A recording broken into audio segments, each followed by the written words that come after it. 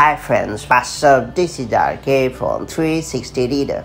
It's time to learn how to group app windows in Stage Manager on Mac in macOS 13 or later. In more ways than one, Stage Manager is a top-notch feature in macOS 13 Ventura. What I love about this brand new feature is the ability to organize app windows and switch between them with utmost ease. It works like a charm and is designed to offer a pretty simplified window organizing experience on Mac. What's more, Stage Manager also allows you to pair app windows so that you can double down on productivity. That all being said, it's time to learn how to group app windows in Stage Manager on Mac the quick way. Before getting started, make sure you have subscribed our YouTube channel and hit the bell icon so that you won't miss any update from 360 Reader. First and foremost, make sure that Stage Manager is already enabled on your Mac. If it's not enabled, click on the Control Center icon in the top right corner of the screen and then hit the Stage Manager icon to activate it. Now click on one of the apps that you want to group. It will now appear in the middle of the screen.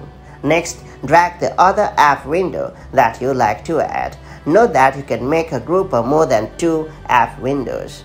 Once you have brought all the app windows, click on any of the app windows and you are good to go. That's pretty much done. You have successfully created a group of apps on your Mac. Now these apps will appear together in the sidebar and with just a click all these apps will show up on the screen thereby allowing you to work with them seamlessly. Yeah, this is exactly what you should use to speed up your workflow and stop running from pillar to post to get your work done.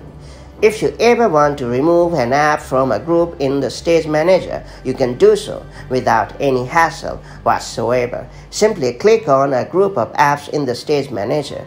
Now drag the app you would like to remove all the way to the end of the screen and let it go. That's pretty much done. The app will no longer show in the group. You can repeat the same quick steps to remove more apps from a group on your Mac. That's all there is to it. So that's how you can group app windows in Stage Manager on your macOS device. Now that you know how it works, make the most of it to speed up your workflow like a pro. If you found this video helpful, do like and share it and I'll see you in the next video with more such handy macOS tips and tricks. Then, stay safe and have a great time. Bye-bye.